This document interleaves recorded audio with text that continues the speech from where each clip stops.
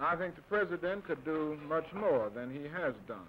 I, I have said before uh, that the president uh, could do more in this area. Vice President assure you that those votes would not go against the civil rights bill this time? Did he, in other words, was he able to tell you that Republicans as a whole would vote for the civil rights bill?